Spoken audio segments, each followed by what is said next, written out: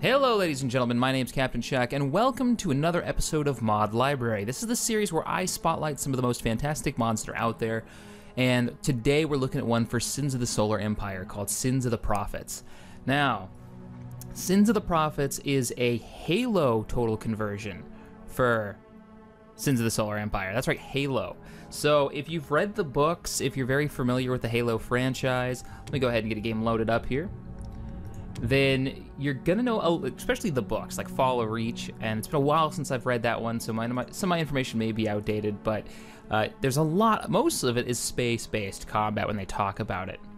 Uh, all right, let's load up. Do do do this one.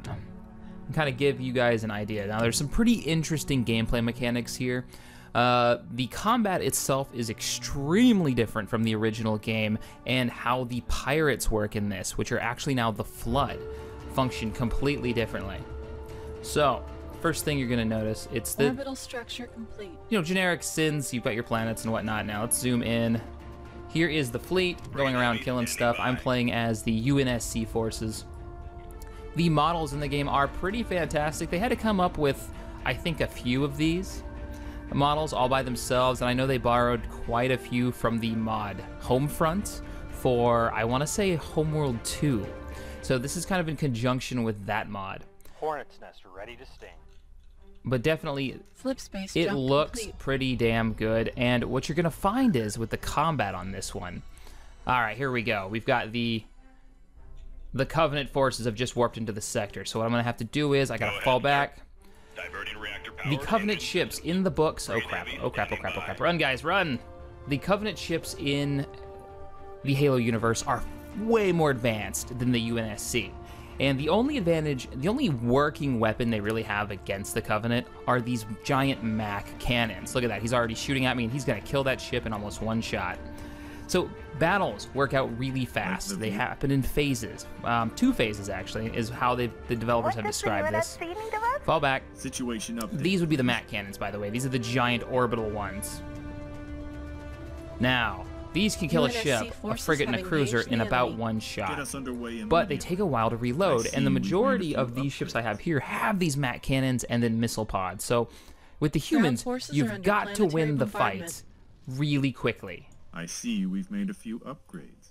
Research Let's order go ahead complete. and start engaging the enemy. So you've got to win the fight. You've got to take down the enemy's DPS really, really fast. Oh shit. So what you're gonna find is battles happen ridiculously fast. Now I'm not gonna win this fight. The Covenant have far too many ships. The balance works is uh, humans do a ton of damage in the first salvo, but the Covenant they do moderate damage in the first salvo, but then they keep doing damage even through to phase two Our while the humans are reloading. is critical. So yeah, you see my ships are just getting decimated while they're firing off their their rounds, trying to reload those Mac cannons fast enough. We just didn't do the DPS that we needed to stop this Covenant fleet.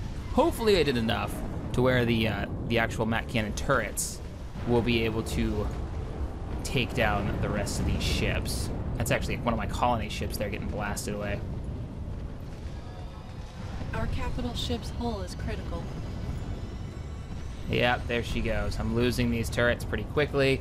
They came in with far more DPS Our capital than I had. hull is. And that's the key. That is the biggest key, is to take down the enemy. All wings checking in. Oh shit, got a capital ship right here. Uh, no, it's just a carrier. Get out of there, carrier. Run! Run for your life! Oh no!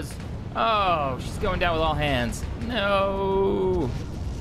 So combat is really fast paced. Uh, I'm still kind of getting Our the hang of it. ship's hull is critical. seeing how the balance is. This is, I believe, still in beta, so they're still balancing it. But I really like how it's so different than Sins. How battles are just fast paced.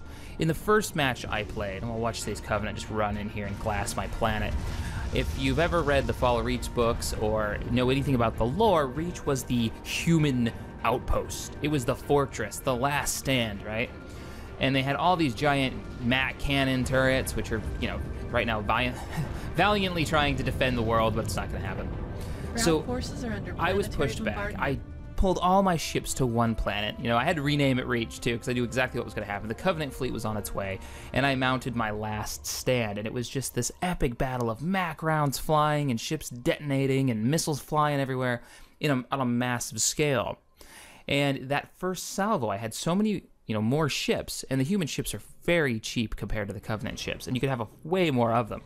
That's where the balance comes in. You can see them firing off their plasma weapons. But it was just an epic scene that was straight out of the books, and it made sense to the canon. Now, there, there is a balance, like I said. Human ships are cheaper. We'll go ahead and look at some of the build lists. Human ships are cheaper, they don't take as much supply, you can build far more of them. Uh, here's the Mako anti fighters. Uh, you can see there are only 275 credits and then 15 of the, what do they call? Deuterium. The cruisers themselves, Paris class frigates, 400. So really, as ships go, fairly inexpensive. And even the capital ships, like here's the Marathon class cruiser, only take 12 supply, which means I can build eight or nine of them. Um, and you can mix and match all the uh, the different capital ships, and a couple of them have the Shiva nuclear missile, and they look pretty damn good.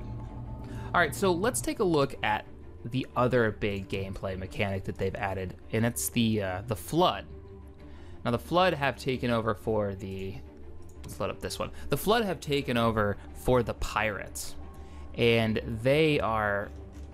Oh man, you got to watch out because I originally didn't think about it. I didn't read too much. I just jumped into a match and I turned the pirates on because pirates make things interesting. Uh, but they never are really a threat. Well, in this, they're definitely a threat. So I'm going to move my fleet here. See, I think they're going to come this way. I have the flood turned on, and the flood will change the game mechanic completely because the flood act like. Um, it's like surviving waves. It's like a survival mode because they will just rush you. Now I've got a couple flood units over here already attacking me. Oh, perfect timing. So that was a fighter that just detonated. Their fighters are actually their spores, and they just took over my turrets. Now, as fighters go, they're pretty slow, but if they get within range of a defensive unit or a ship, they'll embed their spores into the ship and they'll take it over, like the Flood do in the series. Here they go again. They just took that from me. So, when you're fighting against the Flood, I highly recommend, and I didn't know this the first time. Oh god, here comes the Flood fleet. Like the view? I really recommend you have lots of anti-fighter clear support. the Admiral Cole. I see. We've All made right, a so we're gonna move the fleet over here. Let's move everybody. update. Let's get UNSC everybody over here. forces have engaged the enemy. and they come in just giant waves. Now their ships, I believe, are weaker, but they give they they have a lot of them, and they can take enemy fleets over if you're not careful, not able to take out all these. Look at all these spores.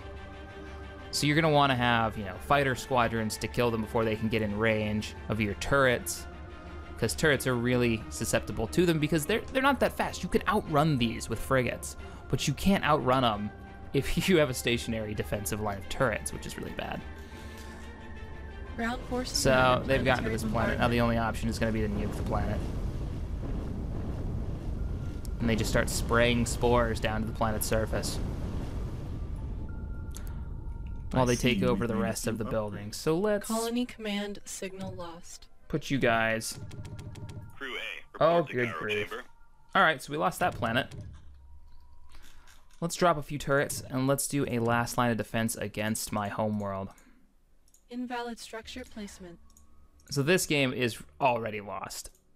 And I haven't even seen the Covenant yet because of how powerful the Flood are. Alloy.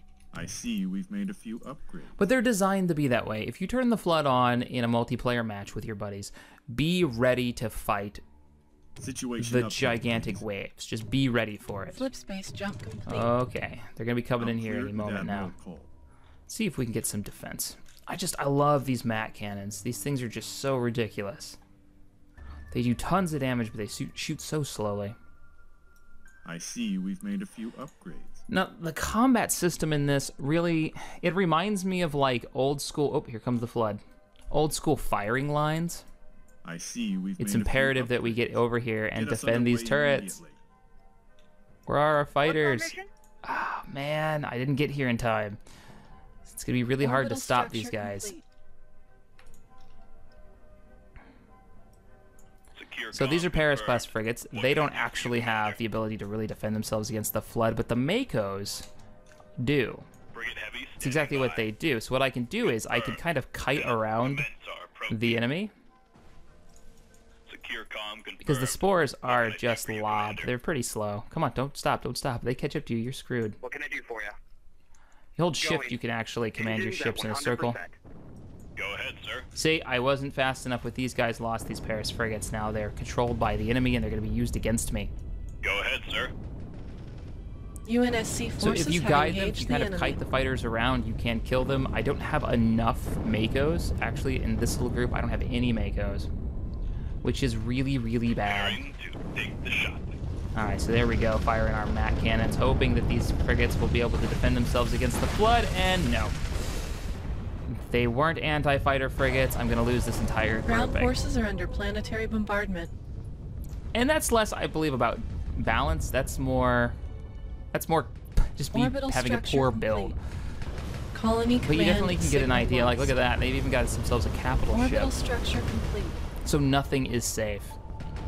And now they're going to infect the rest of these turrets. Colony you can quickly lose your entire lost. defensive line to the flood if you're not prepared. Now, I fought them with a better mix of anti... Let's see here if I can even look now that I've lost.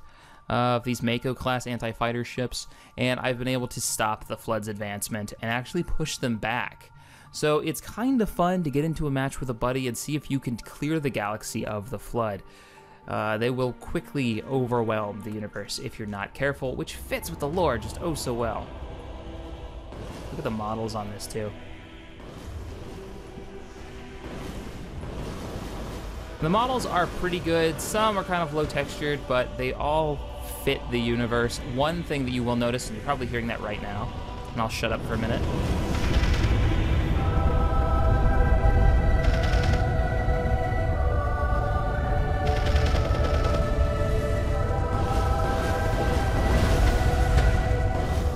They've got their own composer. And it's just oh man it's probably some of the best music i've heard in a mod in a really long time like custom 100% custom music that they've made and it fits the universe so well it's got a very it's like a halo mass effect mix is the best way that i can just uh, describe it with I honestly I want the album myself just to put it in the background if I'm playing something like X3 or EVE Online. All right, guys. Well, that's going to wrap up this episode of Mod Library. I hope you enjoyed it. Of course, these episodes go out every Wednesday spotlighting a new mod. If you enjoyed this video, hit that thumbs up button, subscribe to this channel, and as always, thanks for watching. I will see you guys next time.